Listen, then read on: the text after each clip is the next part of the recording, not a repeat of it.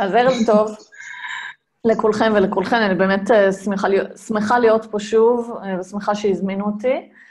אמ, ואנחנו הולכים לדבר היום על מוח ורגשות, וספציפית על תיאוריה שנקראת תיאוריית הסגנונות הרגשיים, אה, שמי שפיתח אותה הוא חוקר מוח בשם ריצ'י דיווידסון, והתיאוריה הזאת בעצם מנסה להסביר הבדלים בין אנשים, התגובות הרגשיות שלהם לעולם ולמציאות ולעצמם. Uh, הצ'אט אצלי פתוח, אז אתם מוזמנים תוך כדי ההרצאה לשאול שאלות בצ'אט ואני אתייחס אליהן. Uh, ואני גם אתן לכם, uh, אתם תראו כבר בשקפים הראשונים, מקורות להעמקה. אם, ההרצאה הזאת ככה ממש מצא חן בעיניכם ואתם רוצים לקרוא יותר על התיאוריה, אז אני אפנה אתכם לכל מיני מקומות שאליהם אתם יכולים לגשת.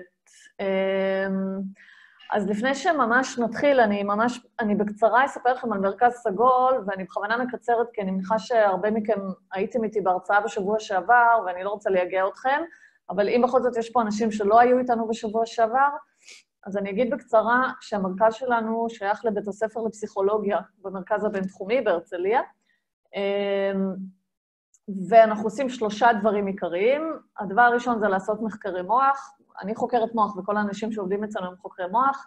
יש לנו מעבדה, ואנחנו עושים כל מיני ניסויים uh, במעבדה עם, עם, עם כלים לחקר מוח, uh, כשהשאלה העיקרית שאנחנו שואלים זה איך אנחנו יכולים באופן מכוון לטפח את המוח שלנו, uh, מתוך הבנה שמוח בריא זה תודעה בריאה, ותודעה בריאה זה גוף בריא, אה, כי, כי, כי מוח, תודעה וגוף זה שלושה דברים שמחוברים אחד לשני.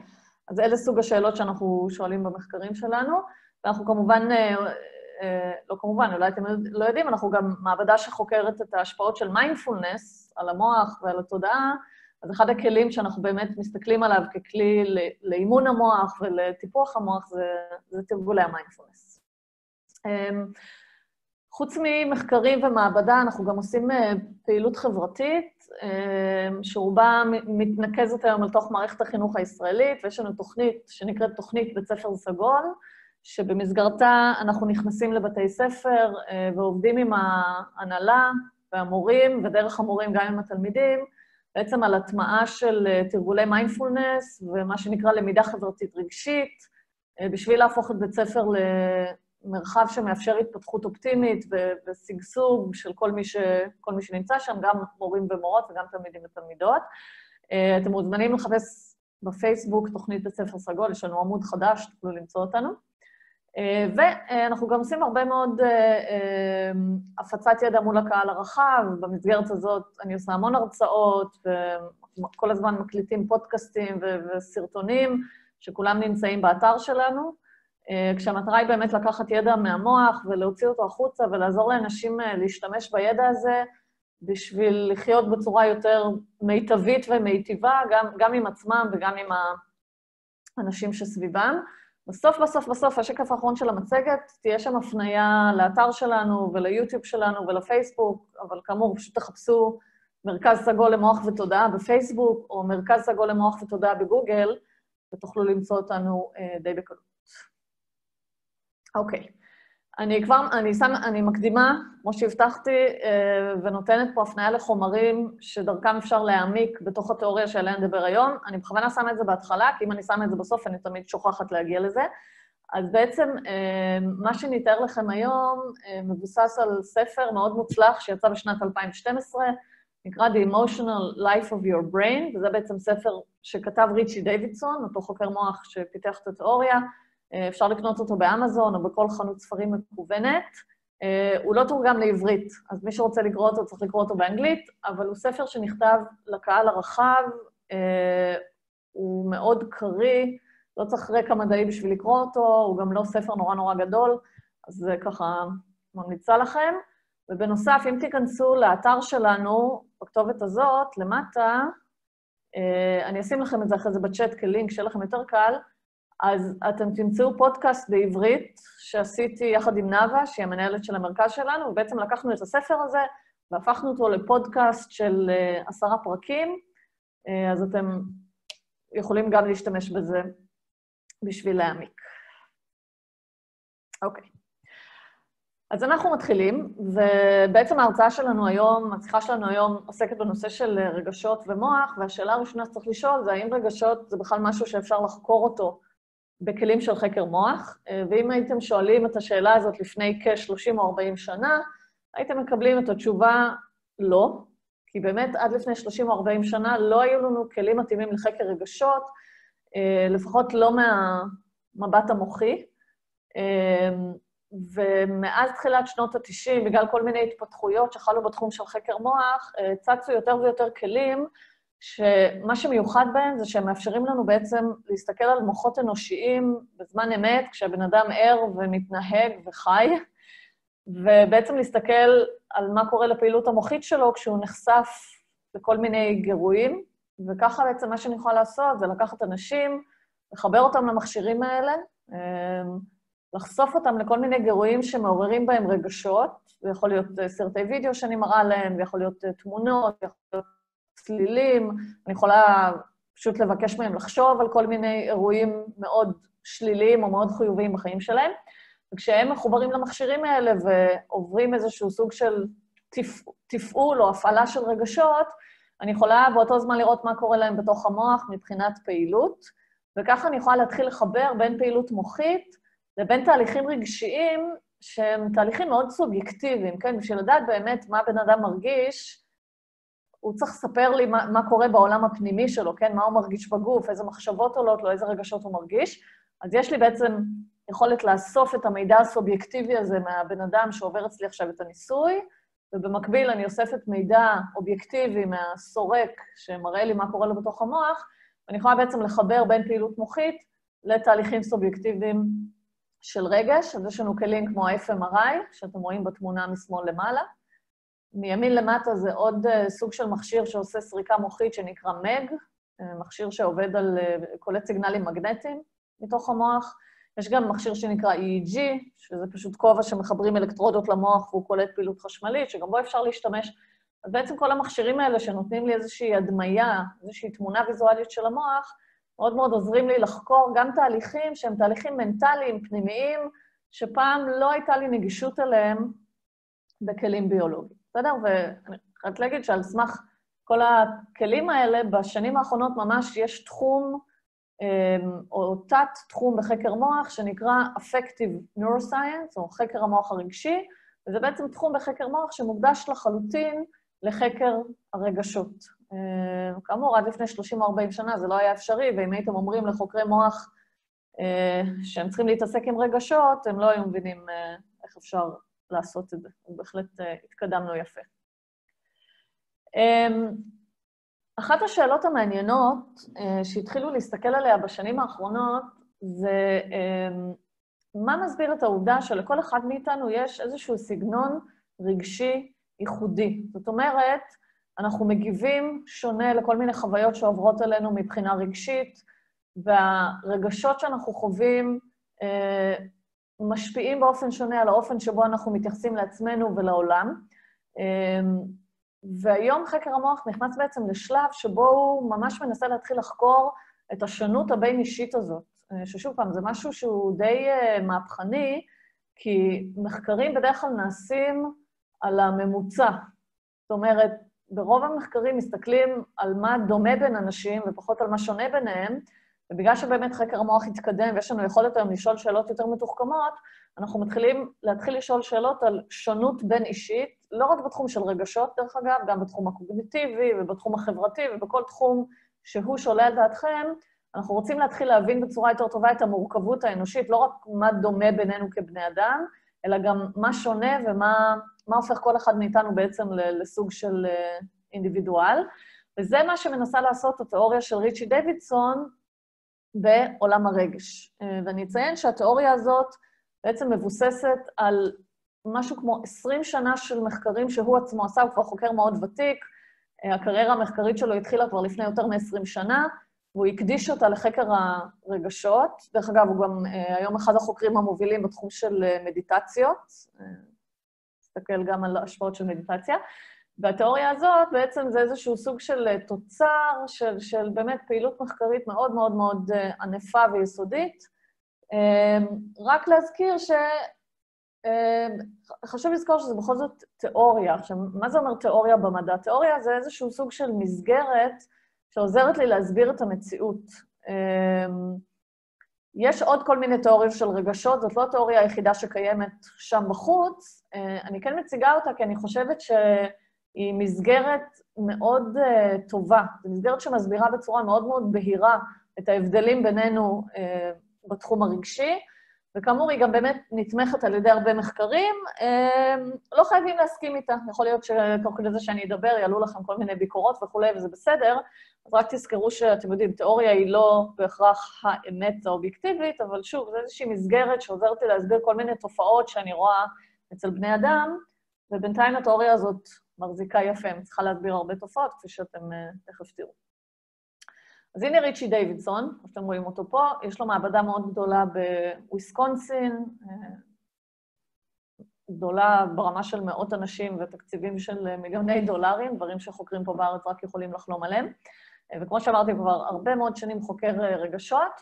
והוא בעצם פיתח תיאוריה שנקראת תיאוריית הסגנונות הרגשיים, שבאנגלית זה נקרא emotional styles, כן, זה ממש תרגום מילולי. והתיאוריה הזאת אומרת את הדבר הבא: לכל אחד מאיתנו יש מה שנקרא סגנון רגשי. ומה זה אומר סגנון רגשי? סגנון רגשי זה איזשהו דפוס התנהגות שאני מייצרת כשאני נתקלת בכל מיני סיטואציות בעולם שמעוררות אצלי את העולם הרגשי. לכל אחד מאיתנו יש סגנון רגשי ייחודי כזה, ולטענתו של ריצ'י דיווידסון, הסגנון הרגשי הזה בעצם מאורגן משישה רצפים, או שישה ממדים, שאתם רואים אותם פה בגלגל הצבעוני, וכל אחד מהמימדים האלה, או כל אחד מהרצפים האלה, יש לו קצה גבוה וקצה נמוך, כן? זה, זה רצף או מימד, ואנחנו נופלים באיזשהו מיקום על כל אחד מששת הרצפים האלה, והשילוב של כל ששת הרצפים, זה בעצם יהיה הסגנון הרגשי השלם שלנו. ובגלל שכל אחד מאיתנו נמצא במקום קצת אחר על הרצפים האלה, אז כל אחד מאיתנו יש לו בעצם סגנון רגשי ייחודי. מה שנעשה עכשיו, בעצם נעבור על כל אחד מהמימדים או על כל אחד מהרצפים האלה ונבין מה המשמעות שלהם מבחינת התנהגות, איך זה נראה בעולם, בסדר? וגם נבין איך המוח מייצר את הרצפים האלה. והגדולה של התיאוריה הזאת היא שהיא לא תיאוריה שהיא רק תיאוריה פסיכולוגית של רגשות. רוב התיאוריות הגדולות של רגשות הן תיאוריות שהן רק פסיכולוגיות, הן בכלל לא מתייחסות למה שקורה במוח. הגדולה של התיאוריה של ריצ'י דיווידסון זה שהיא נתמכת בהרבה מאוד מחקרי מוח, והוא בעצם מראה שכל אחד מהרצפים האלה יושב על איזושהי רשת מוחית ספציפית. אוקיי? ובגלל שהמוחות שלנו קצת שונים אחד מהשני, אז גם הסגנונות הרגשיים שלנו יהיו שונים. ומה שהתיאוריה בעצם אומרת, זה שאם אני מסתכלת על הסגנון הרגשי של בן אדם ברמת ההתנהגות, אני יכולה להסיק מזה משהו על איך שהמוח שלו בנוי ומתפקד, וגם ההפך. אם אני מסתכלת על איך שהמוח של בן אדם בנוי ומתפקד, אני יכולה להסיק מזה משהו על איך הוא אמור להתנהג בעולם בכל מיני מצבים רגשיים. אוקיי? אז זה בעצם הרציונל שמאחורי התיאוריה. ואני כבר אגיד, אני מניחה שאנשים ירצו לשאול את זה, שבסוף, אחרי שנכסה את כל הרצפים האלה, אנחנו בעצם נגיע לשאלה, בעיניי מאוד חשובה, האם הסגנון הרגשי שלנו הוא קבוע, זאת אומרת, נולדתי עם סגנון רגשי מסוים, זה מה יש ועם זה אני צריכה להסתדר, או האם אנחנו יכולים לשנות את הסגנונות הרגשיים שלנו ככה שהם ישרתו אותנו בצורה יותר טובה. בסדר? אז זו בהחלט שאלה שאנחנו נגיע אליה. אז אנחנו יוצאים לדרך, ואנחנו מתחילים עם המימד הראשון, שמסומן לכם פה בצבע ירוק, מימד uh, סופר חשוב בימים אלו, וזה המימד שנקרא חוסן. עכשיו, לפני כל מימד, אני אראה לכם כמה שאלות, וככה תחשבו עם עצמכם, זה לא יהיה שאלות, זה יהיה הגדים משפטיים, ותחשבו עם עצמכם עד כמה המשפטים האלה נכונים או לא נכונים לגביכם. אלה בעצם פריטים מתוך שאלון שנקרא שאלון הסגנונות הרגשיים, והיום אפשר להיכנס ולמלא את השאלון הזה ולקבל סוג של uh, אבחון במרכאות של מה הסגנון הרגשי האישי של כל אחד uh, מאיתנו, בסדר? זה גם יעזור קצת להבין את המימדים. אז הנה המשפט הראשון, אם נהג עוקף פקק תנועה ארוך בו אני תקועה דרך שולי הכביש ונדחף לראש הפקק, בדרך כלל אתנער מזה בקלות, במקום להישאר עצבנית למשך זמן רב. בסדר, תחשבו רגע עם עצמכם עד כמה המשפט הזה מתאר אתכם, אה, מסכימים שזה מתאר אותי או לא, מסכ... או לא מסכימים, כן, עד כמה זה רלוונטי אליי. משפט השני, אם דוד המים בבית מתקלקל, זה לא משפיע על מצב רוחי באופן משמעותי, כי אני יודעת שאני פשוט יכולה לצלצל לשרברב והוא יבוא והוא יתקן את זה. והמשפט השלישי, אמ, רגע, שתסתיר לי, במסיבה, אם אני בשיחה מעניינת עם איש או אישה זרים, וכשהם שואלים אותי על עצמי, אני מתבלבלת, אני נוטה לשחזר את השיחה בראשי גם שעות או ימים מאוחר יותר, והפעם לכלול את מה שהייתי אמורה להגיד, אוקיי? אז אלה סוג המשפטים שבהם אנחנו משתמשים בשביל לאפיין את הרצף הראשון, או את המימד הראשון בתיאוריה של ריצ'י דיווידסון, וזה המימד שנקרא חוסן או עמידות, באנגלית זה resilience. אמ, כשאנחנו מדברים על חוסן או עמידות, אנחנו בעצם מדברים על היכולת של בן אדם להתאושש ממשבר. אמ, ופה אני מראה לכם גרף, שהוא אמנם גרף תיאורטי, אבל זה גרף שמאוד בקלות אפשר לייצר אותו בכל ניסוי במעבדה, שבו אני לוקחת שני אנשים, ובנקודה אפס אני חושפת את שניהם לאיזשהו גירוי רגשי מטלטל. למשל, איזושהי תמונה מאוד מאוד מאוד לא נעימה, בסדר? תמונה של תאונת דרכים, תמונה של מישהו שמכוון אליהם אקדח, משהו שמאוד לא נעים לצפות בו. ואני מודדת פה אה, איזשהו מדד גופני שקשור לתחושת הלחץ של הבן אדם. בסדר, נגיד שאני מודדת פה את הדופק. אנחנו רואים שבשלוש הדקות הראשונות, אחרי שחשפתי את הבן אדם לגירוי הרגשי הלא נעים, שני האנשים האלה מגיבים בדיוק באותה צורה, הדופק שלהם עולה מאוד מהר, וזה הגיוני, כי אני עכשיו גרמתי להם לאיזושהי תגובה של אה, סטרס בגלל התמונה הלא נעימה שהראיתי להם. אבל אחרי שלוש דקות, פתאום מתחילים להתגלות הבדלים, הנבדק שמסומן באות B אה, די מהר מצליח לווסת את עצמו ולחזור לאיזון, ואחרי עשר דקות אה, הוא כבר חזר פחות או יותר למצב השגרתי שלו, זאת אומרת, הוא התאושש מהר. והנבדק שמסומן באות A, אתם רואים שאחרי עשר דקות הוא עדיין לא חזר לנקודת הבסיס שלו, אה, וההתאוששות שלו היא הרבה יותר איטית. אז אנחנו רואים פה דוגמה למישהו שעל הרצף הרגשי של חוסן הוא גבוה, זה בן אדם B, ומישהו שעל הרצף הרגשי של החוסן הוא נמוך, וזה יהיה אה, בן אדם A. אז כשאנחנו בעצם אה, מדברים על חוסן, כמו שאמרתי, אנחנו מדברים על היכולת שלנו להתאושש מאירועים מטלטלים, אנחנו מדברים פה בעצם על היכולת לווסת רגשות או לווסת סטרס, יכולת מאוד מאוד אה, חשובה בחיי היום-יום שלנו, בטח בזמני משבר. וכשאנחנו מחפשים במוח על מה יושב החוסן שלנו, כן? איזה אזור מוחי או אזורים מוחיים, כשאני מסתכלת עליהם, יכולים להגיד לי משהו על רמת החוסן של האדם. אני בעצם אה, מסתכלת על רשת שמחברת בין שני אזורים במוח. האזור הראשון זה האזור שמסומן בצבע כחול, זה נקרא הקורטקס הפרפרונטלי, וזה בעצם החלק הקדמי ביותר של אונת המצח שלנו. זאת אומרת שאם אני שמה יד על המצח, הקורטקס הפרפרונטלי זה החלק של המוח שנמצא מתחת ליד שלי.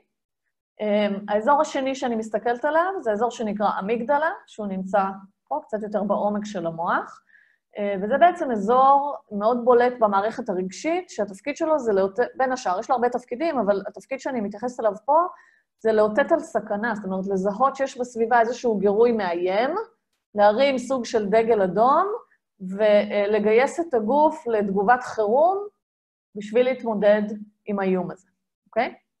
עכשיו, מה הקשר בין שני האזורים האלה לבין חוסן? הקורטקס הפרפרונטלי הוא אזור של שליטה ובקרה, והוא אזור, אחד האזורים העיקריים במוח שאחראים ליכולת שלנו לווסת את עצמנו גם מבחינת רגשות וגם מבחינת התנהגות, בסדר? אז נגיד שאתם עכשיו עומדים בסופרמרקט, עכשיו לא, כי אי אפשר ללכת לשם, נגיד שאנחנו בזמני שגרה, אתם עומדים בסופרמרקט, יש תור ארוך, אתם כבר נורא עייפים ומתים כבר לסיים את הקנייה וללכת הביתה, והאישה שלפניכם עומדת שם, ופתאום הקופאית אומרת לה, תקשיבי, יש מבצע, אם תקחי עוד שלושה מהשמפויים האלה, תקבלי את הרביעי בחינם. והאישה אומרת, טוב, אז רגע, אני רק הולכת להביא, בסדר? ואז אתם יודעים שעד שהיא תלך ותחזור, אתם עומדים שם תקועים בתור 20 דקות ומחכים, אתם נורא נורא נורא מתעצבנים. מה מונע מכם לקחת את העגלה של האישה הזאת ולהפוך אותה ולהתחיל לצרוח על הקופאית שכבר נמאס לכם וכולי? זה בהנחה שאתם לא עושים את זה, כן? בהנחה שאתם מצליחים להתאפק, הקורטקס הפרפרונטלי, שלכם מתחיל לעבוד, ועוזר לכם בעצם לווסת את הרגשות ולווסת את, את ההתנהגות, כדי שתוכלו להתנהג כפי שמקובל, אוקיי? אז זה בעצם אזור של שליטה ובקרה, והוא בעצם מחובר לאמיגדלה, שהחיבור הזה הוא חיבור מעכב. מה זאת אומרת חיבור מעכב? זה אומר שכשהקורטקס הפרפרונטלי מתחיל לעבוד, הוא גורם לאמיגדלה לעבוד פחות. הוא שולח לתוך האמיגדלה מסרים שמעכבים אותה, מבחינה חשמלית, וככה הוא בעצם יכול אה, להפחית את התגובות שלנו לאירועים רגשיים. עכשיו, בהקשר לחוסן, אנחנו יודעים שאנשים שהקשרים אצלם בין הקורטקס לבין האמיגדלה הם יותר חזקים, ואפשר למדוד את זה עם אותם כלים שהזכרתי קודם, אפשר למדוד את זה. אז כשאני רואה אצל אנשים שהקשרים, החיבורים בין שני האזורים האלה הם יותר חזקים, אני יודעת שאלה אנשים שמערכות השליטה והבקרה של המוח שלהם עובדות יותר טוב, ואלה אנשים שיותר מבוסתים, אלה אנשים שיותר קל להם להירגע, אה, לחזור לאיזון, אחרי שהם עוברים איזושהי טלטלה רגשית.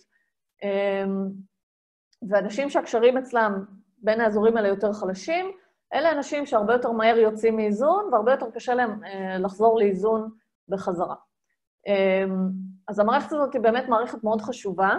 חשוב לי רק להגיד שכשאנחנו מדברים על חוסן, המטרה שלנו בחיים זה לא להיות uh, סופרמנים במובן של אני נתקלת באיזשהו אירוע נורא שלילי, וזה לא מזיז אותי בכלל, אני מין טפלון כזה ששום דבר לא נדבק אליו, בסדר? זאת לא, זאת לא הכוונה, זה בסדר לחוות רגשות שליליים, זה בסדר להיות בסטרס, זה חלק מרפרטואר התגובות שלנו, וזה גם מאוד מאוד חשוב, כי זה עוזר לנו להגיב למציאות בצורה טובה. אז הרעיון הוא לא לעולם לא להיכנס לסטרס, או לעולם לא להרגיש רגשות שליליים, בסדר? זה לא חוסן, ממש לא. הרעיון הוא שגם אם אני חווה סטרס, גם אם אני חווה רגשות שליליים, אני מצליחה לנהל אותם בצורה שבסופו של דבר לטווח ארוך משפרת את ההתמודדות שלי עם העולם, בסדר? שאני יודעת להשתמש בכל מיני אסטרטגיות שעוזרות לי לחזור לאיזון ולא להישאר בלחץ אה, לאורך המון המון זמן. הדבר האחרון שאני אגיד על המערכת הזאת, הקשרים האלה בין הקורטקס לבין האמיגדלה הם קשרים שמתפתחים לאט. זאת אחת המערכות האחרונות במוח שמסיימות את ההתפתחות שלה סביב גיל 20 או 21, ולכן יכולות של ויסות וחוסן זה משהו שבגילאים הצעירים אנחנו רואים אותו פחות, בסדר? אצל ילדים קטנים זה נורא בולט, זה בדיוק הילד הקטן בסופר עם אמא שלו שרוצה במבה, והיא אומרת לו לא, והוא לא מסוגל לווסת את עצמו, והוא נשכב על הרצפה וחוטף טנטרום ומתחיל אה, לדפוק את הראש ולצרוח, ואז כולם מסתכלים וזה לא נעים, בסדר? אמ, גם בני נוער, במידה רבה, הקשרים האלה אצלם עוד לא לגמרי בשלים, ולכן גם הם הרבה פעמים מתקשים בוויסות, ולכן בגילאים האלה אנחנו כמבוגרים צריכים לעזור להם לווסת את עצמם מבחוץ, ולאט לאט היכולת ויסות הזאת הולכת ומופנמת, ואנשים רוכשים כלים שהם יכולים להפעיל לעצמם, בסדר? אז זה קצת על ההתפתחות של, ה, של הקשרים האלה. ושואלים אותי פה שאלה על מיינדפולנס, אז כן, מיינדפולנס למשל זה אחד הכלים שיכול לחזק בדיוק את המערכת הזאת, שכבר מחקרים שמראים את זה, שאנשים שמתרגלים מיינדפולנס לאורך זמן, הקשרים אצלם בין הקורטקס הפרפרונטלי לאמיגדלה מתחזקים, וזה בא במקביל גם עם יכולת פסיכולוגית יותר טובה להתמודד עם סטרס, לנהל סטרס וכולי. מה המנגנון שעושה את זה, אנחנו עוד לא לגמרי יודעים. זאת אומרת, מה, איזה, איזה איכות מתוך התרגול של המיינדפולנס אחראית לחיזוק של הקשרים האלה, אבל למשל, אם תחשבו על זה שמיינדפולנס עובד על מודעות לגוף, כן? הרבה מהתרגולים של המיינדפולנס מעודדים אותנו להפנות קשב פנימה ולשים לב לתחושות גופניות, וכשאנחנו מתחילים לשים לב לתחושות גופניות, יותר קל לנו לדעת מתי אנחנו מתחילים לצאת מאיזון, ויותר קל לנו להפעיל אסטרטגיות שעוזרות לנו להתאזן בחזרה. ואז אנחנו בעצם מפעילים את אזורי הוויסות של המוח בצורה יותר יעילה ויותר מהירה, וזה מחזק אותם, בסדר? אז זו דוגמה למשל איך תרגול מיינדפולנס יכול באמת להשפיע על, על המערכת הזאת. אמ, שואלים אותי האם אה, ניתן לחזק את הקשרים האלה גם לפני ההבשלה של המערכת, גם בילדות, אז, אז בוודאי, בסדר? תזכרו אני חושבת שהזכרתי את זה פעם קודמת, בטוח הזכרתי את זה בהרצאה הקודמת. המוח הוא פלסטי, המוח כל הזמן משתנה וכל הזמן לומד, ויש חשיבות עצומה גם אצל ילדים וגם אצל בני נוער לאמן אותם באסטרטגיות של ויסות, ואז מה שאנחנו בעצם עושים, אנחנו בדיוק מאמנים את המערכות האלה במוח, ואנחנו עוזרים להם להתחזק. זה יכול להיות דרך תרגול מיינדפולנס, אבל זה גם יכול להיות דרך המון המון המון כלים אחרים ואסטרטגיות אחרות, פעילות גופנית, אה, ועוד המון המון אה, דברים שאין לי כרגע כל כך זמן להיכנס אליהם, אבל בהחלט, זה, זה משהו שחשוב לאמן אותו אה, מגיל צעיר. אוקיי, אז דיברנו על חוסן, ואנחנו עוברים עכשיו לרצף או למימד השני בתיאוריה. ואת הרצף הזה אנחנו בודקים עם אמירות כמו, אני מאמינה שעשר השנים הבאות יהיו יותר טובות עבורי מאשר עשר השנים הקודמות, או כשאני הולכת למסיבה ואני נהנית, אז התחושה החיובית נוטה להימשך לאורך כל הערב, או לחילופין, אני מגלה שסצנות יפות כמו שקיעה נפלאה, ההנאה מהן מתפוגגת בקלות ואני משתעממת אה, נורא נורא נורא בקלות. בסדר? קצת מתקדמת קדימה. וכשאנחנו משתמשים בהיגדים האלה, אנחנו בעצם מודדים אה, רצף שנקרא השקפה. באנגלית זה Outlook, אה, זו מילה שקצת קשה לתרגם לעברית, אני תרגמתי את זה כהשקפה, אבל אפשר גם לתרגם את זה כ... כתפיסת עולם. אה, וכשאנחנו מדברים על הרצף הזה של ההשקפה, אנחנו בעצם אה, מנסים להבין למה אנשים מסוימים, באופן טבעי, יש להם יחס יותר חיובי למציאות. אנחנו נקרא להם אנשים שמרכיבים משקפיים בצבע ורוד, אנשים יותר אופטימיים, אנשים שמאמינים שיהיה בסדר, שבסך הכל יותר קל להם לראות את הדברים הטובים.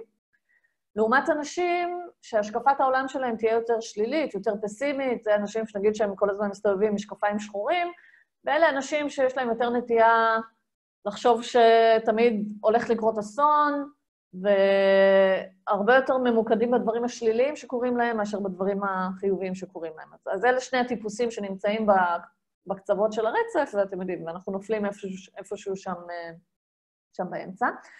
אמ, מה אחראי לזה ברמה המוחית? אז אנחנו נשארים פה עדיין עם הקורטקס הפרה-פרונטלי, בסדר? אותו אזור של אה, ויסות, אבל הפעם אנחנו מדברים על קשרים שלו עם מערכת, אני לא אכנס פה לכל השמות האנטומיים המדויקים, זה לא כזה חשוב, אנחנו מדברים על הקשרים של הקורטקס עם מערכת שנקראת אה, מערכת החיזוק, באנגלית זה ה-reward system, ובעברית לפעמים קוראים לה מנגנון העונג של המוח. אמ, התפקיד של המערכת הזאת זה בעצם להתעורר כשאנחנו נתקלים באיזשהו גירוי שגורם לנו הנאה, הנאה באלף, וכשהמערכת הזאת מתעוררת, היא גורמת לנו לעלייה ברגשות החיוביים, בסדר? אנחנו מרגישים בהיי כשאנחנו נתקלים בגירוי הזה שאנחנו נורא אוהבים אותו, וגם אמ, זאת מערכת של למידה, זאת מערכת שמעוררת בנו מוטיבציה לעשות את ההתנהגויות שיעזרו לנו להשיג עוד ועוד ועוד ועוד מהגירוי הזה. בסדר? אז לזהות דברים שעושים לנו טוב, וללמוד איזה התנהגויות אני צריכה לבצע כדי לקבל עוד ועוד ועוד מהדבר הטוב הזה, אוקיי? עכשיו, איזה סוג של גירויים, למשל, מעוררים את המערכת הזאת? תכף אני, תכף אני אחזור לתפקיד של הקורטקס בתוך כל הסיפור הזה. איזה סוג של גירויים מעוררים את המערכת הזאת? למשל, אם אתם בן אדם כמוני, כשאתם רואים דבר כזה, זה לא משנה אם זה עכשיו בתמונה על המסך, או אם אני יושבת עכשיו בבית קפה ואיזה מלצר עובר לידי עם הדבר הנפלא והמהמם הזה, באותו רגע מנגנון העונג אצלי במוח נדלק, אני מתמלאת ברגשות חיוביים כלפי עוגת השוקולד החמה עם הקצפת, ואני גם מתמלאת במוטיבציה לעשות כל מה שצריך בשביל להשיג אותה. זה למשל לקרוא למלצר ולהזמין את העוגה הזאת, או אם אני בבית, לפתוח את הארון ולבדוק אם יש לי שם אה, שוקולד ושמנת, כדי שאני אוכל אה, להכין את זה לעצמי, בסדר?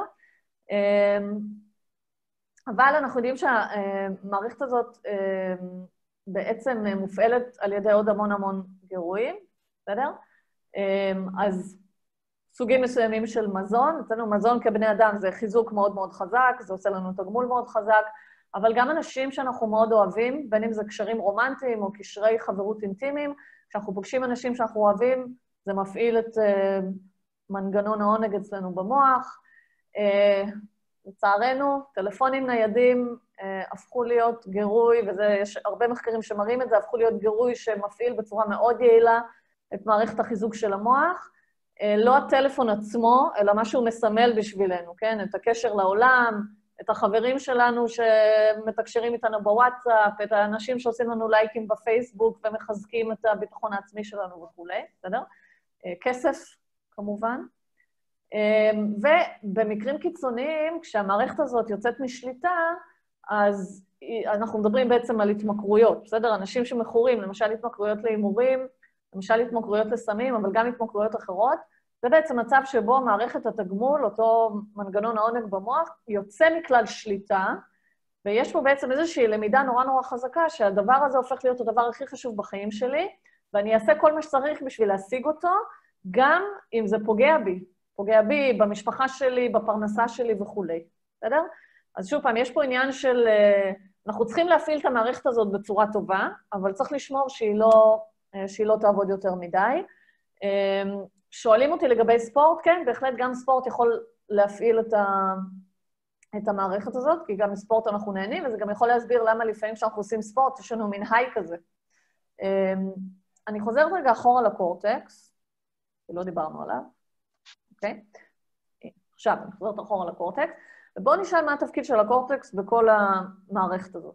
אז כשאנחנו מדברים על אנשים שיש להם השקפת עולם שהיא יותר חיובית, אנשים שהם יותר אופטימיים כלפי המציאות וכלפי עצמם, אלה בעצם אנשים שאצלם הקשרים בין הקורטקס למערכת התגמול או מערכת החיזוק הם יותר חזקים, וכאן התפקיד של הקורטקס הוא לא לעכב, אלא ההפך, לעורר.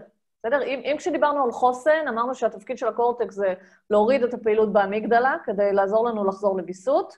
כאן התפקיד של הקורטקס זה דווקא להעלות את הפעילות בתוך מערכת החיזוק, כדי לאפשר לנו באמת אה, ליהנות מרגשות חיוביים שמתעוררים, בסדר? היכולת שלנו לשמר את הרגשות החיוביים האלה לאורך זמן. ופה שוב אני רוצה להגיד משהו חשוב, כי הרבה אנשים מכירים את מערכת החיזוק רק בהקשר של הימורים, וחושבים שזו מערכת נורא נורא מסוכנת, שאנחנו צריכים נורא להיזהר מלהפעיל אותה.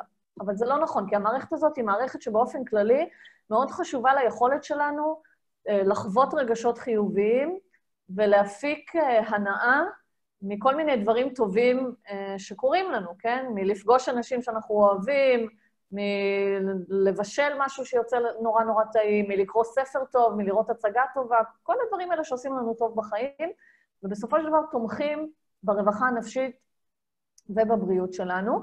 אז אנחנו רוצים להגיע למצב שהקורטקס מסוגל לשמר את הפעילות במערכת הזאת, כדי שנוכל באמת ליהנות, ליהנות מהרגעים הקטנים של החיים, מהשקיעה שראיתי בחוף הים, או מזה שבן זוג שלי בא ונתן לי נשיקה על הלחי. מצד שני, כמובן שצריך להיות מאוזן, כי אם אנחנו יותר מדי משתוללים עם המערכת הזאת, אז כמו שאמרתי, אנחנו הולכים בעצם לכיוון של כבר התמכרויות. ואם אנחנו נשארים ככה עם הקונספט של רגשות חיוביים, אז חשוב לי להגיד שאנחנו יודעים למשל, וזה גם ממחקרים של ריצ'י דיווידסון, שאנשים שיש, שסובלים מדיכאון קליני, אצלם היכולת של הקורטקס להפעיל את מערכת החיזוק היא יותר נמוכה. אז אלה באמת אנשים שיותר קשה להם אה, להיות פתוחים לדברים החיוביים שקורים להם, וגם אם קורה להם משהו שמשמח אותם, קשה להם לשמר את השמחה הזאת. זה משהו שמתפוגג מאוד מהר. והיום חלק מהטיפולים שמנסים לפתח לדיכאון, כמו שאתם רואים פה בתמונה, זה טיפולים שהמטרה שלהם זה באופן ישיר להפעיל את האזורים של מערכת חיזוק בשביל להעלות רגשות חיוביים. אז יש פה מימין, אתם רואים, אה, שוב פעם, מין קסדה כזאת, שנותנת אה, סיגנלים מגנטיים, והסיגנלים המגנטיים האלה מכוונים לאזורים של מערכת החיזוק, והבן אדם שסובל מדיכאון בא, חובש את הקסדה הזאת, מקבל סדרה של טיפולים, וזה מעלה את הפעילות של מנגנון החיזוק ומשפר את הסימפטומים של הדיכאון. ויש אפילו מקרים, שוב פעם, זה מקרים מאוד קיצוניים, זה גם עדיין בשלבי מחקר, של דיכאון שהוא מאוד מאוד מאוד כבד ושום טיפול אחר לא עוזר, שממש משתילים אלקטרודות פיזית, מכניסים אלקטרודות לתוך המוח ונותנים אה, נותנים גירוי חשמלי לאזורים האלה בשביל, אה, בשביל לעורר אותם. אוקיי? אז באמת, אם מערכת החיזוק לא עובדת מספיק, אז זה יכול להיות איזשהו גורם סיכון לדיכאון, לחרדה וכולי. אמ, וכאמור, הטיפולים אה, מנסים לשפר את זה. אה, אני שוב פעם רוצה רגע לחבר את זה לתרגול של המיינדפולנס, ופה אפילו באופן כללי לא רק מיינדפולנס, כל מיני סוגים של תרגולי מדיטציה, שהתפקיד שלהם זה בעצם אה, לטפח רגשות חיוביים, שזה תרגולים של הכרת הטוב, תרגולים של חמלה, בין אם זה חמלה כלפי האחרים או העולם, ובין אם זה חמלה כלפי עצמי, אלה בעצם תרגולים שאנחנו יודעים שמעלים את הפעילות במערכת החיזוק, ואז האפקטים זה בעצם באמת אה, להעלות רגשות חיוביים, ולעזור לנו גם יותר, באמת לשים לב לדברים הטובים ש, שקורים לנו בחיים, ולא לעשות מה שאנחנו בדרך כלל אוהבים לעשות, להתעלם מהם, וכל היום להתעסק רק ברע ובשלילי וכולי. בסדר? אז גם הרצף הזה הוא רצף שמאוד חשוב לרווחה הנפשית שלנו. אמ, אה, נועה שואלת, עד איזה גיל הקשרים האלה מתפתחים? אז שוב פעם, בכל מה שקשור לקורטקס, הקורטקס מתפתח לאט, והוא מסיים להתפתח סביב גיל 20, 21, אבל שוב פעם, זה לא אומר שהוא מפסיק להשתנות אחר כך, זה דברים שאפשר לעבוד עליהם לאורך כל החיים, ואני, ואני אתייחס לזה אה, אחר כך. אוקיי, אנחנו עוברים לרצף השלישי. דיברנו על חוסן ודיברנו על אה, אה, אה, השקפה, ואנחנו עוברים לרצף השלישי, שאפשר לבדוק אותו עם היגדים כמו אה, לעתים קרובות אני מופתעת, כשמישהו שאני מדברת איתו מתעצבן או מתרגז ממשהו שאמרתי ללא סיבה גלויה לעין, או לעתים קרובות אני יכולה לדעת שמשהו מטריד מישהו רק מלהסתכל עליו. אמ, והרצף הזה הוא רצף שנקרא אינטואיציה חברתית. הוא בעצם אה, מנסה להבין למה חלק מאיתנו יותר טובים באינטראקציות חברתיות, בעיקר בהקשר של יותר טובים אה, בלקרוא רגשות של אחרים, לעומת אנשים שהרבה פחות טובים בזה, יותר קשה להם לזהות רגשות אצל אחרים, ולכן גם האינטואיציה החברתית שלהם היא, אמ, היא יותר נמוכה. אמ, וכאן בעצם אנחנו מדברים על אזורים, ש, ש, אה, אזורי מוח שהופכים אותנו ליצורים חברתיים, שנותנים לנו את היכולות החברתיות המאוד מורכבות שלנו. את הרצף הזה ריצ'י דיווידסון ביסס על סמך הרבה מחקרים שהוא עשה עם אנשים על הרצף האוטיסטי, שאנחנו יודעים שהיכולות החברתיות שלהם הרבה פעמים יותר נמוכות, ושיש להם קושי ספציפי בלקרוא אנשים אחרים, בלהבין את הרגשות שלהם, בלהבין את, ה, את ההתנהגות שלהם. הוא בעצם אה, זיהה פה אה, שני אזורים חשובים, שתורמים לאינטואיציה החברתית שלנו. האזור אחד שאתם רואים פה מצד ימין, אזור שנקרא FFA, שוב, השמות לא כאלה חשובים, האזור שמסומן באדום במוח המסתובב. אמ, זה בעצם אזור שעוזר לנו אה, לזהות פרצופים. זאת אומרת, כשאני מסתכלת על פרצוף של בן אדם, האזור הזה מתחיל לעבוד, והוא עוזר לי לדעת גם מי הבן אדם הזה, בהנחה שאני מכירה אותו, בסדר? מי הבן אדם הזה, וגם לקרוא את הבעת הפנים הרגשית שלו כדי לדעת מה הוא מרגיש ברגע נתון, אוקיי? אז ככל שהפעילות באזור הזה יותר גבוהה, ככה האינטואיציה החברתית שלי תהיה יותר טובה, כי אני אהיה יותר טובה בלקרוא רגשות. האזור השני זה האמיגדלה, שכבר דיברנו עליו קודם. אמרנו שהאמיגדלה, אחד התפקידים החשובים של האזור הזה, זה לאותת לנו על סכנות, ומה שריצ'י דיווידסון טוען, זה שאצל אנשים שיש להם אינטואיציה חברתית גבוהה, אנשים שטובים לקרוא אנשים אחרים, הפעילות באמיגדלה שלהם היא נמוכה כשהם נמצאים בחברת בני אדם אחרים. עכשיו, למה זה הגיוני? כי אם האמיגדלה, התפקיד שלה זה לאותת על סכנה.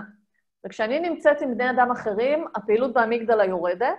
בעצם המוח שלי מבין שבני אדם אחרים הם לא איום והם לא סכנה, וזה גורם לי לרצות להתקרב אליהם. עכשיו, מה שחשוב פה זה לא רק הפעילות של כל אחד מהאזורים האלה בפני עצמו, אלא גם האיזון ביניהם, שאנחנו מצפים של, שאצל אנשים אה, שיש להם אינטואיציה חברתית טובה, כשהם בחברת אנשים אחרים, תהיה להם עלייה ב-FFA וירידה בפעילות של האמיגדלה.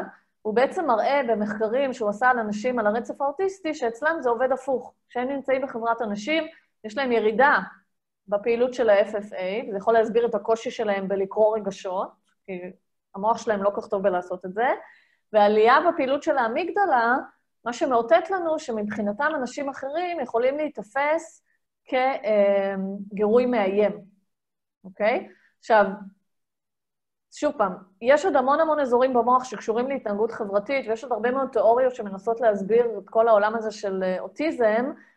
זה הסבר אחד מהרבה הסברים רבים.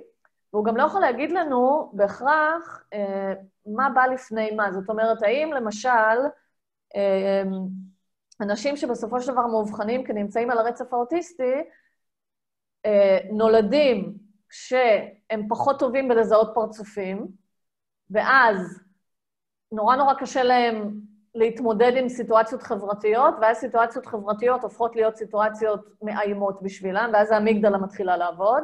או שקורה ההפך, הם נולדים כשהאמיגדלה שלהם באופן טבעי מגיבה המון המון המון לנוכחות של אנשים, אז הם מלכתחילה תופסים אנשים כמשהו מאיים, ואז הם לא רוצים להסתכל עליהם כי זה מפחיד אותם, וזה פוגע ביכולת שלהם, למשל, אה, לקרוא רגשות בהבעות פנים, בסדר? אז, אז ריצ'י דוידסון לא טוען שיש פה איזה הסבר שמסביר איך מתפתח אוטיזם, אבל הוא כן מזהה פה אזורי מוח שאם הפעילות שלהם אה, היא לא נורמטיבית, זה יכול להוביל בעצם לקשיים חברתיים ולאינטואיציה חברתית אה, נמוכה. אה, מיכל שואלת, האם זה קשור גם לנוירוני המראה? אז המערכות האלה זה לא מערכות שקשורות לנוירוני המראה, בגלל זה אני אומרת שריצ'י דיווידסון אה, מתמקד פה ספציפית בשני אזורים. כאמור, יש עוד הסברים אחרים שקשורים לנוירוני המראה, אבל התיאוריה לא, אה, לא מכסה אותם. ואני חוזרת רגע לשאלה של הדס, ששואלת האם רק מזונות שמכילים סוכרים מפעילים את מערכת התגמול בצורה ישירה? ממש לא. גם, גם הרבה מזונות אחרים, וגם לא צריך לאכול בשביל זה. מספיק שאת רואה משהו שעושה לך טוב גם בלי קשר לאוכל, והמערכת הזאת אה, נדלקת. אה, קירה כותבת, כשדיברתי בעצם על הקטע הזה של אה, להודות על משהו, הבעיה שכל פעם שאני מנסה להודות על משהו באופן עקבי, יום למחרת המשהו הזה נהרס. אז אני כבר מאבחנת אותך כמישהי שהיא נמוכה על הרצף של, של ההשקפה, כבר למדתי לא להודות על כלום. אז אני, אני לא מסכימה עם התפיסת עולם הזאת, כן? אני חושבת שתמיד יש, אה, יש על מה להודות לכולנו, גם במצבים הכי קשים. כולנו יכולים למצוא דברים שאנחנו אה, יכולים להכיר עליהם תודה. זה לא חייב להיות דברים גדולים, זה לא חייב להיות... אה, זכיתי בלוטו בעשרה מיליון שקלים. זה יכול להיות דבר קטן, כמו יצאתי החוצה וראיתי פרח נורא יפה והתכופפתי להריח אותו והיה לו ריח טוב. גם על זה אפשר להכיר תודה, ודברים כאלה אפשר למצוא. אה, רק צריך לחפש אותם, כמו שאמרתי, והמוח שלנו לא כך אה, טוב בלעשות את זה. אוקיי, מתקדמים הלאה, אנחנו מגיעים לרצף הרביעי, ואת הרצף הרביעי אפשר לבחון בגדים כמו שאני רואה מישהו אחר בכאב, אני מרגיש בעצמי את הכאב, גם רגשית וגם פיזית, או אני מכוונת מאוד לעולם החיצוני, ואני בקושי שמה לב למה שמתרחש בתוך הגוף שלי. ופה אנחנו מדברים על רצף שנקרא מודעות עצמית, לא בהיבט הפסיכולוגי, למרות שזה קשור, אלא מודעות עצמית לגוף. עד כמה אני טובה בלזהות אה, תחושות גופניות שבאות מתוך האיברים הפנימיים, כן? למשל שהלב שלי מתחיל לדפוק מהר, שהבטן שלי מתכווצת, אה, שפתאום נהיה לי מחנק בגרון, או ההפך, שמשהו נפתח ופתאום אני נושמת יותר בקלות, שאני מרגישה יותר רגועה וכולי. אז באמת היכולת לזהות איתותים שבאים מהגוף. וכאן אה, התיאוריה מדברת על אזור שנקרא אינסולה, שזה בעצם האזור שאתם רואים אותו פה בפנים, זה, זה, זה חלק מהקורטקס, אבל הוא מקופל פנימה, ולכן בשביל לראות אותו חייבים טיפה לפסק את המוח, בגלל זה שתי האצבעות אה, נמצאות שם, אז זה בעצם קורטקס האינסולה. ומה שעושה קורטקס האינסולה זה לחבר בין הגוף למוח. הקורטקס האינסולה בעצם כל הזמן מקבל מידע מהאיברים הפנימיים על תחושות גוף ומעביר אותם למוח, ככה המוח יודע מה קורה בגוף. ובמקביל, האינסולה גם אה, שולחת איתותים בחזרה לאיברים הפנימיים של הגוף, ומווסתת בעצם את התהליכים הפנימיים של האיברים האלה. ולכן, ככל שהאינסולה שלי עובדת יותר, ככה המודעות שלי לתחושות גוף היא אה, יותר טובה, אוקיי? ומה שיפה פה זה שהמודעות שלי לגוף עוזרת לי גם להיות יותר מודעת לעצמי ברמה הפסיכולוגית, כן? אנחנו מדברים פה על רגשות, אז אני חושבת שתסכימו איתי שאירועים רגשיים, אנחנו חווים אותם כמשהו גופני, לא כמשהו שמתרחש פה בתוך המוח. ואם אני יותר מחוברת לתחושות הגוף שלי, אני בעצם גם יותר מחוברת לרגשות שלי, אני יכולה לזהות רגשות בצורה יותר מהירה, אני יכולה לווסת אותם בצורה יותר טובה, אני יותר טובה בלשים לב למה קורה לי ברגע נתון וכולי. בסדר? זה, זה ברמה האישית. אמ, וברמה החברתית, מה שמעניין הוא שככל שאנחנו יותר מחוברים לגוף שלנו, גם יותר קל לנו להתחבר לאנשים אחרים. ופה אני כבר מדברת, סליחה, פה אני כבר מדברת על הנושא של אמפתיה. אה, אמפתיה זה היכולת שלי לשים את עצמי בנעליים של מישהו אחר ולהבין מה הוא מרגיש, ומסתבר שהיכולת הזאת יושבת נורא נורא חזק על הגוף, כי כשאני מסתכלת על מישהו אחר, למשל חווה כאב, האינסולה שלי מתחילה לעבוד, ומייצרת בעצם בתוך הגוף שלי מצב שבו כאילו אני חווה את הכאב בעצמי. עכשיו, אני לא באמת חווה את הכאב בעצמי, אבל המצב הגופני הזה עוזר לי בעצם להבין מה הבן אדם האחר מרגיש, וזה הצעד הראשון בדרך לאמפתיה, בסדר? בלי להבין מה בן אדם אחר מרגיש, אני לא יכולה להזדהות איתו ואני לא יכולה אה, לשים את עצמי בנעליו. אז החיבור הזה לגוף הוא חשוב לא רק בשבילי ברמה האישית, הוא גם חשוב בשביל היכולת שלי אה, להגיב, אה, לטפח רגשות, אה, רגשות חברתיים חשובים. וגם פה, אם אני מחברת את זה למיינדפולנס, אז אנחנו יודעים שתרגולי מיינדפולנס שמבוססים על מודעות לגוף, מעלים את הפעילות באינסולה. אז למשל, התרגול של סריקת גוף, שהוא אחד התרגולים הראשונים שאנשים עושים כשמתחילים אה, לתרגל מיינדפולנס, זה בעצם תרגול שמפנה את הקשב לתחושות גופניות. התרגול הזה מחזק את הפעילות של האינסולה, כי הוא מחזק את, ה, את המודעות שלי לגוף. וכל התרגולים שיושבים סביב הנושא של אה, אמפתיה, כן, שוב, תרגולי חמלה, אה, כל התרגולים שיושבים תחת המטריה הזאת של תרגולי חמלה, הם גם כן תרגולים שעובדים על האינסולה, ולכן אנשים שמתרגלים את התרגולים האלה, הם גם פיזית בעולם, הם יותר, יותר קל להם אה, להרגיש אמפתיה. ואז מישהו שואל, בהקשר הזה, השאלה היא, אם יש הזדהות כזאת גבוהה עם כאב שמעוררת אמפתיה, ניתן לטפל בצורה טובה, למשל רופא, אוקיי? אז זו שאלה טובה, ואני אגיד שבעצם אמ, האמפתיה שאני מתארת פה, שמתווכת דרך האינסולה, זה מה שנקרא אה, אמפתיה רגשית, כן? זה, זה מין מנגנון אוטומטי שגורם לי להזדהות עם הבן אדם האחר ברמה הגופנית. על האמפתיה הזאת יש גם מה שנקרא אמפתיה קוגנטיבית, שזה איזשהו מנגנון יותר מנטלי שעוזר לי להבין ברמה הקוגנטיבית מה האחר מרגיש. אמ, ויש לנו יכולת לווסת, בסדר? אנחנו יכולים לווסת את האמפתיה הרגשית כדי שהיא לא תציף אותנו, כי בהחלט זה לא טוב. אם אני רואה מישהו אחר סובל, ואני לחלוטין נכנסת לתוך הכאב שלו, אז אני לא יכולה לעזור לו, כי אני עסוקה בזה שאני סובלת, אוקיי? ולכן באמת אה, היכולת שלנו לווסת אמפתיה ולא להיבלע בתוכה לחלוטין, זאת אומרת, עדיין לזכור שיש הפרדה ביני לבין האחר היא יכולת חשובה, והיא במיוחד חשובה באמת לאנשים שנתקלים בחיי היום-יום הרבה בסבל של אחרים, למשל רופאים, שוטרים, אה, כבאים, כל, כל האנשים שעובדים במקצועות האלה, אז העבודה באמת על הוויסות של האמפתיה איתם היא מאוד מאוד חשובה, אחרת באמת יכולים להגיע למצב של אני כבר שחוק, כי אני כל היום נכנס לתוך הסבל של אנשים אחרים, ואני לוקח את הסבל הזה אליי, אוקיי? אמ, נועה שואלת, אדם שחווה בילדות אלימות פיזית, דבר שגרם לו להתנתק מהגוף, האם הפעילות באינסול, באינסולה שלו יורדת? אז אני לא יודעת להגיד לך בוודאות, כי אני לא, אני לא מכירה את המחקרים, אבל אני, מתוך הידע שלי כחוקרת מוח, אני מניחה שבכל מצב שבו יש איזשהו סוג של מה שנקרא דיסוציאציה, זאת אומרת, התרחקות מהגוף, התנתקות מהגוף, אנחנו נראה אה, איזושהי אבנורמליות בפעילות של האינסולה, כנראה איזושהי ירידה או משהו כזה, בהחלט. אה, נכון, גם אה, כותבת אלכסנדרה, גם עובדה של פסיכולוגים, מטפלים, בהחלט. בהחלט אנשים שצריכים לדעת לווסת טוב את האמפתיה שלהם ולא להיכנס למצב של הזדהות, כי זה שוחק אה, מאוד מאוד מאוד.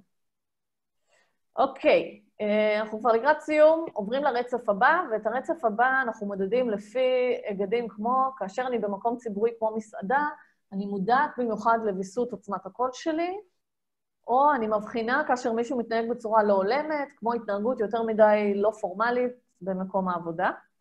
אה, ופה אנחנו בעצם מדברים על מימד שנקרא רגישות לקונטקסט. הוא קצת קשור לאינטואיציה חברתית, אה, אבל לא בדיוק אותו דבר. ובעצם רגישות לקונטקסט זה, זה באמת היכולת שלי לזהות אה, איפה אני נמצאת, ולהתאים את ההתנהגות שלי לסיטואציה, למצב ולקונטקסט. ובהקשר הזה אנחנו מדברים על אזור מאוד חשוב במוח שנקרא היפוקמפוס, שאתם רואים אותו פה מסומן בצבע אדום. עכשיו, רוב האנשים מכירים את ההיפוקמפוס אה, בהקשר של זיכרון, כי ההיפוקמפוס הוא באמת, הוא אזור שעוזר לנו לייצר זיכרונות לטווח ארוך, אבל אני לא מדברת עליו רק בהקשר הזה. פה חשוב להבין שההיפוקמפוס הוא גם האזור העיקרי במוח שעוזר לנו בהתמצאות מרחבית. יש שם נוירונים מיוחדים, שהתפקיד שלהם זה לעזור, לעזור לנו למקם אותנו מבחינה אה, מרחבית, היכולת שלנו לנווט בעולם. אה, ו... כשאנחנו מדברים על רגישות לקונטקסט, אז חלק מהיכולת שלנו להתאים התנהגות לקונטקסט, זה היכולת שלנו בכלל לזהות איפה אנחנו נמצאים, האם אנחנו בעבודה, בבית, בבית ספר, עם חברים בבית קפה וכולי. אמ, ואנשים שהרגישות לקונטקסט אצלם היא גבוהה, יש להם פעילות אה, יותר גבוהה בהיפוקמפוס. אנשים שפחות טובים בלמקם את עצמם בקונטקסט, פעילות יותר נמוכה, ובהקשר הזה אני רוצה לדבר, למשל, על אנשים שיש להם PTSD, הפרעה פוסט-טראומטית, או מה שנקרא לפעמים בעברית הלם קרב. אנשים שיש להם PTSD זה אנשים שחוו איזושהי טראומה, והטראומה הזאת בעצם נצרבה מאוד מאוד חזק במוח, ואז בעצם נוצרים זיכרונות טראומטיים מאוד מאוד חזקים, מאוד מאוד שליליים, והזיכרונות האלה הרבה פעמים מתפרצים לתוך החיים של הבן אדם, וגורמים לו להיכנס להתקפי חרדה מאוד חזקים, עד לרמה שאנשים ממש מרגישים שעוד רגע הם הולכים למות. ואז מה שקורה זה שהבן אדם מתחיל לפחד לצאת מהבית ולהסתגר וכולי.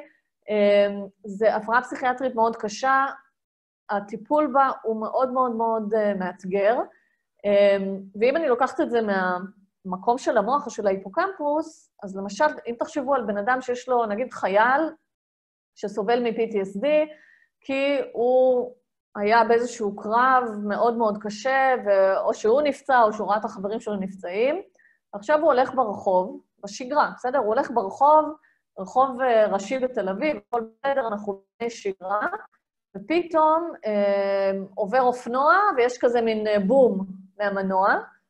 הבן אדם שומע את הבום הזה, הבום הזה מפעיל זיכרונות של פצצות שהתפוצצו מסביבו בקרב, הזיכרונות של הקרב עולים, ומבחינתו הוא עכשיו נמצא בקרב. עכשיו, ההיפוקמפוס, התפקיד שלו במצב הזה זה להגיד לבן אדם, תשמע, תירגע, אתה בסך הכל ברחוב בתל אביב, בסך הכל אופנוע שעבר לידך לא קרה כלום, אבל אם ההיפוקמפוס לא יודע לעשות את זה בצורה יעילה, אז הבן אדם לרגע מאבד את הידע לגבי איפה הוא נמצא, נכנס לתוך התקף חרדה, ולא מסוגל לתפקד. עכשיו, שוב, זה לא ההסבר היחיד ל-PTSD, יש עוד מנגנונים שעובדים, אבל בהחלט העניין הזה של הרגישות לקונטקסט, של היכולת שלי להבין שעכשיו אני ברחוב בתל אביב, ולא באיזשהו קרב בסוריה או בלבנון או מה שזה לא יהיה, היכולת הזאת כנראה פגועה אצל אנשים שיש להם PTSD.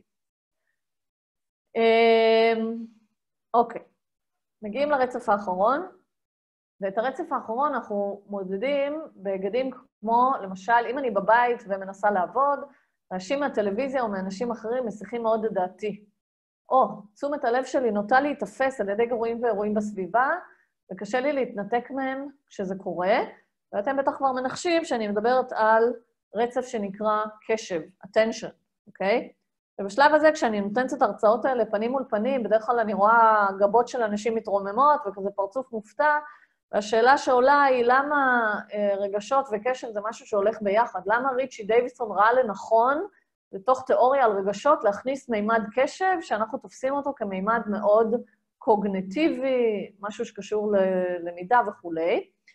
אבל מאחר שריצ'י דייווידסון הוא מתרגל מיינדפולנס מאוד מאוד ותיק, הוא יודע מה שיודעים כל המתרגלים, וגם אנשים שלא מתרגלים באינטואיציה יודעים את זה, אבל לא תמיד עוצרים לחשוב על זה, שקשב היא אחת היכולות הכי בסיסיות שיש לנו, ובלעדיה אנחנו לא מסוגלים לעשות כלום. וספציפית, כשאנחנו מדברים על רגשות, אז קשב הוא חיוני ליכולות הרגשיות שלנו. ואני אתן לכם דוגמה, למשל, אם אני רוצה אה, שתהיה לי מודעות טובה לגוף, שתלויה באינסולה, כמו שהזכרתי, אני צריכה להיות מסוגלת להפנות קשב לגוף ולבדוק מה קורה שם בפנים. אם אני לא מסוגלת להפנות קשב פנימה, אני לא יכולה לזהות מה אני מרגישה. אם אני רוצה שתהיה לי אינטואיציה חברתית גבוהה, אני רוצה להיות טובה בלזהות מה אנשים אחרים מרגישים, אני צריכה להיות מסוגלת להפנות את הקשב שלי החוצה לבן אדם שאני מדברת איתו, לבן אדם שעומד מולי, אוקיי? לקלוט את כל הסממנים הקטנים והמאוד מאוד עדינים שאומרים לי שהוא עכשיו עצוב, או שמח, או כועס.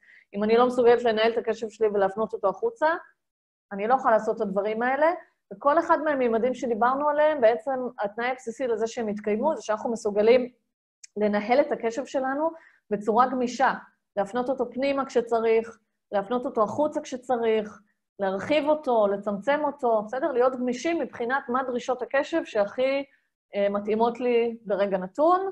ופה אני חושבת שאני לא צריכה להסביר למה זה מתחבר למיינדפולנס, כי מיינדפולנס בבסיס שלו הוא תרגול קשבי, וכל האפקטים שאנחנו מקבלים מהמיינדפולנס יושבים על זה שאנחנו בעצם מאמנים את הקשב שלנו, ככה שהוא ישרת אותנו אה, בצורה הכי טובה. אז עכשיו, אחרי שעברנו ככה די במהירות על כל, על כל הרצפים האלה, אנחנו צריכים לשאול את השאלה, האם יש דבר כזה שנקרא סגנון אה, רגשי אופטימלי? האם אני יכולה לתת לכם עכשיו מתכון שאומר לכם איפה אתם צריכים בדיוק להיות על כל אחד מהצפים האלה, כדי שתהיו מסודרים? התשובה היא כמובן שלא. החיים קצת יותר מורכבים מזה.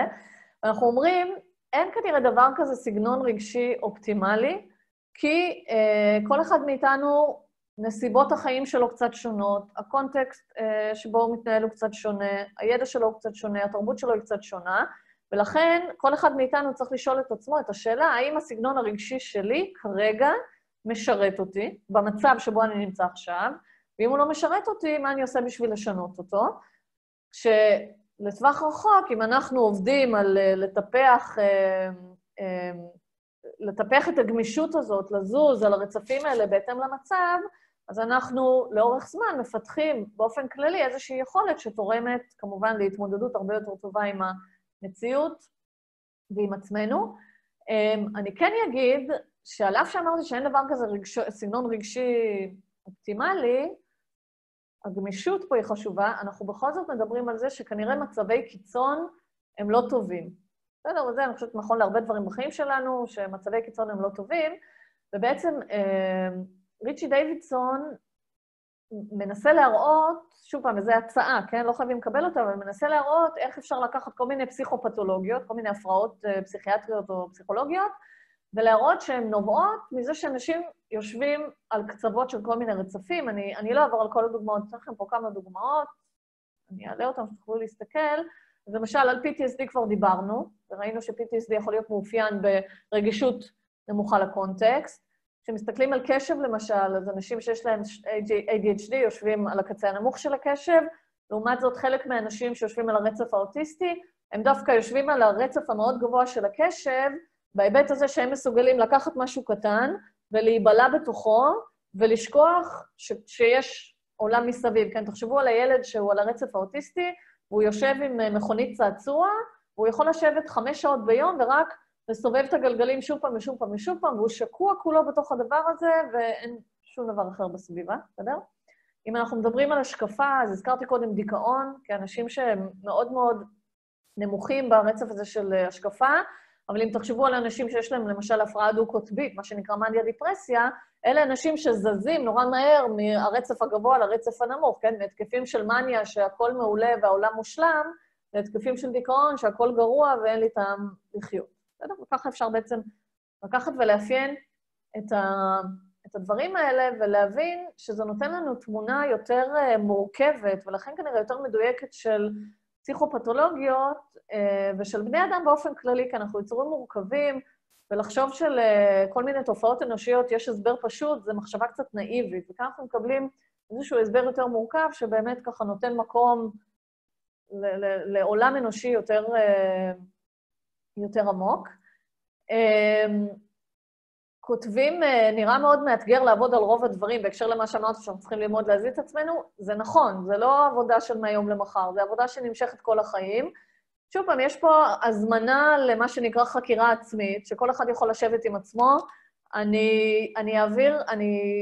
בסוף אני גם אכתוב לכם בצ'אט, אני אתן לכם לינק לשאלון. אתם יכולים להוריד את השאלון, אתם יכולים למלא את השאלון ולעשות לעצמכם מין בחינה עצמית כזאת של מה הסגנון הרגשי, ולנסות לחקור עם עצמכם בתוך הרצפים האלה, מה מהרצפים האלה משרת אותי ואני טוב בו, ומה מהרצפים האלה לא משרת אותי ואני צריך להתחיל לעבוד עליו.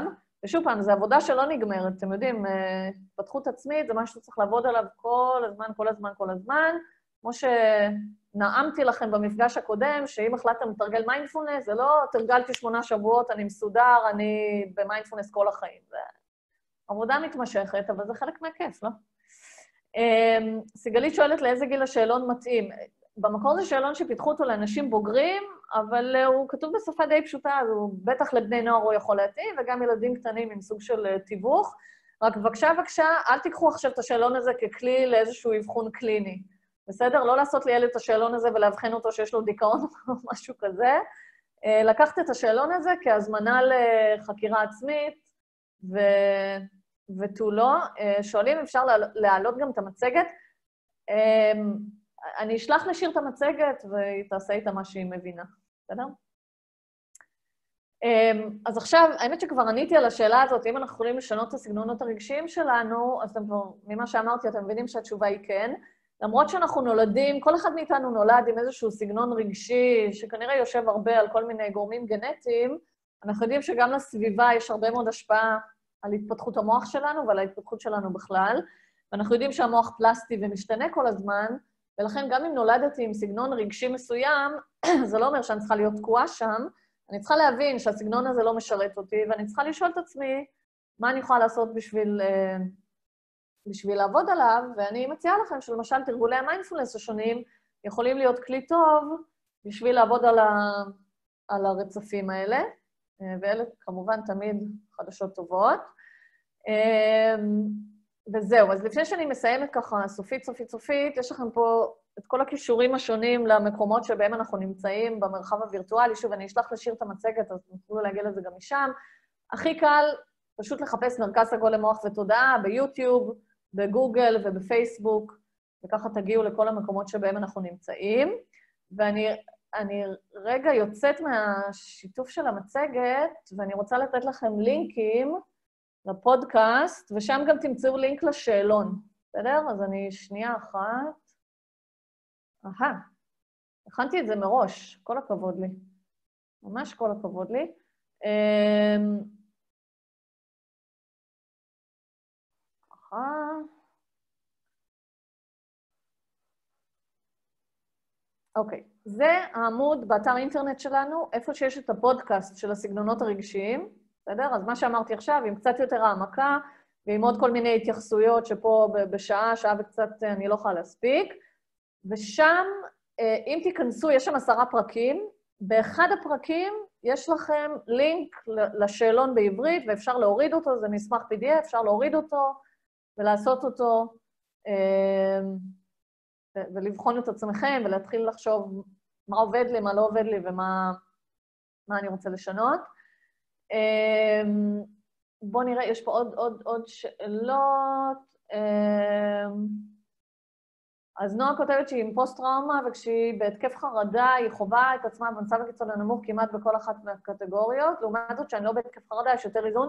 זה מאוד הגיוני, כי כשאנשים נכנסים להתקף חרדה, הם, מבחינת המוח שלהם, הם כרגע במצב מאיים והם בסכנת חיים. כשאנחנו בסכנת חיים, אנחנו לא חסינים, והשקפת העולם שלנו היא מאוד שלילית, אה, והיכולת שלנו להשתמש בתחושות גופניות בשביל לווסת את עצמנו היא נמוכה, זה מאוד מאוד ברור. אז השאלה היא איך, איך את יכולה לנצל את רגעי האיזון בשביל לעבוד על המערכות האלה, ככה שגם כשאת נכנסת להתקפי חרדה, הם לאט-לאט יתחילו לרדת בעוצמה שלהם. בסדר, כמו שאמרתי, הזמן שבו אנחנו צריכים לעבוד על המוח שלנו זה לא במצב של משבר. במצב של משבר אי אפשר לעשות את זה. צריך לעבוד על המוח בשגרה, כדי שבזמן משבר זה כבר יהיה שם, ויהיה קל, אה, ויהיה קל אה, לשלוף את זה. ואת שואלת איך קורה שהחוויה בתוכך משתנה בכזאת קיצוניות? אז שוב פעם, המוח שלנו הוא איבר מאוד מאוד דינמי, ומספיק שאנחנו נחשפים לאיזשהו גירוי שמעורר בנו מצוקה, המוח תופס את זה כמצב חירום. ושוב, מצב חירום, כל הנורות האדומות נדלקות, כל הפעמונים מצלצלים, ו- יש משהו טוב ביכולת שלנו לנוע בכזאת קיצוניות מרוגע לסוג של משבר, כי שוב פעם, יש פה איום, צריך מאוד מהר להגיב אליו. אם היה לוקח לנו שעה להיכנס לחרדה, עד שהיינו נכנסים לחרדה, כבר האיום היה מקווצ'ווץ' אותנו, בסדר? אז זה חשוב שנדע להגיב מהר לדברים. כמובן ששוב, כמו במצב של פוסט-טראומה, זה יוצא מכלל שליטה, צריך ללמוד לאזן את זה, ואת זה צריך לעשות עם אנשי מקצוע. כמובן, אה, וכולי. אני רוצה להסתכל אם יש עוד שאלות. אורן שואל אם יש אפשרות לראות הקלטה, כן, תהיה הקלטה. אה, הנה, אה, שיר ענתה על השאלה הזאת. איפה הלינק לשאלון? אז שוב, אני... פשוט אתם כתבתם הרבה דברים, אז הלינק כבר... אה, שלחתי את זה פשוט רק להדס בפרטי, סליחה. הדס הרוויחה ואתם הפסדתם, שנייה. אני בטעות על uh, התכתבות אישית פה. הנה, הנה. כן, נכון, הקשב שלי, אתם רואים, לא טובה בפיצול קשב. הנה, זה הלינק, בסדר? אז עם הלינק הזה אתם נכנסים לפודקאסט, ובאחד הפרקים של הפודקאסט, לא זוכרת איזה, אבל באחד הפרקים, הפרקים של הפודקאסט, לדעתי באחד הפרקים האחרונים שם, יש לכם לינק לשאלון שאפשר להוריד אותו למחשב שלכם ו... למלא אותו. אה, ושוב, אם מעניין אתכם, אז גם לחפש את הספר. אני כותבת לכם עכשיו את השם של הספר, פשוט לחפש באמזון, או איפה שאתם קונים את הספרים שלכם אונליין, The Emotional Life of, of Your Brain by ריצ'רד דיווידסון. בסדר? עשו את זה בגוגל, תוכלו להגיע. Uh, תודה למי שכתב לי שאני מדהימה, מרגישה כמו קורס בבינתחומי. אני מנחשת שזה סטודנט או סטודנטית שלי, או שלא, סתם מישהו שלמד בבינתחומי. Uh, זהו, מה השעה? שמונה ועשרה, בסדר. גלשתי בעשר דקות, אבל לא נורא... אה, בשמחה גדולה. אה, מוריה, מוריה, אני, אני פוגשת מוריה מלא במרחב המקוון, ואני כל פעם uh, שמחה שהיא, שאני ממשיכה לרגש אותה, אז, אז, אז, אז זה טוב. מרפאה בעיסוק. אז זהו, אז אני אשחרר אתכם. אני צריכה ללכת לאכול ארוחת ערב.